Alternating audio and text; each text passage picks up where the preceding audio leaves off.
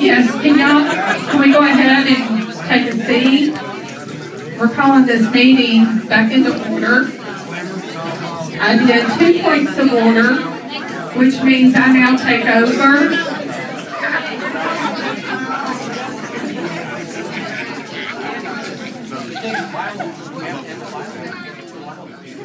Okay, if everyone can take their seat, we're going to go ahead and continue with this meeting.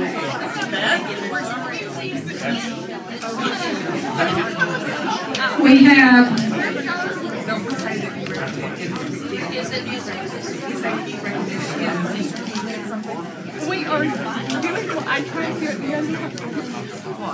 We're going to continue with this. We have, we had a recommend, We had a motion. a and we had a second on the floor.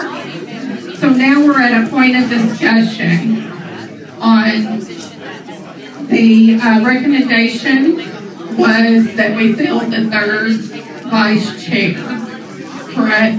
a.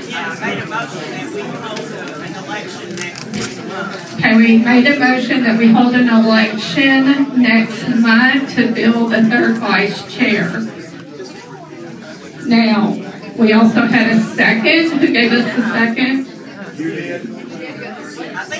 I did, yes. And then I did two points of order, sorry. It's, there's a lot of confusion. I gave the, I seconded it, also did two points of order. So if I'm right, we're at discussion, is that correct? Okay, points of discussion, anyone have a point of discussion?